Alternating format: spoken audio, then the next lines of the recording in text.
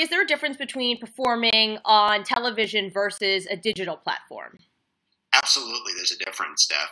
You've got to be interesting as quickly as you can, but you've got to be concise and be dynamic, and you've got to be clever without trying to be funny or sophomoric. Unfortunately, attention spans are at their lowest right now. Research shows you have about seven seconds to keep someone's attention. And how many times, when you look at a clip online, the person's first move is to see how long it is? So it's really important be interesting fast, make sure you're concise, be dynamic in that message, and do it in a clever way.